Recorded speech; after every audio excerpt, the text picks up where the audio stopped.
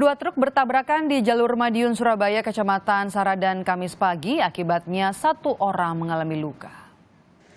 Kecelakaan terjadi di wilayah Dusun Pugruk, Kecamatan Saradan, Kabupaten Madiun, Kamis pagi.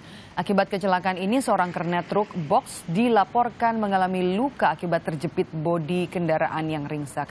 Akibat kecelakaan ini, muatan truk mie instan tumpah ke jalan, sementara kernet truk dibawa ke rumah sakit. Polisi masih menyelidiki kasus ini untuk mengetahui penyebab pasti kecelakaan.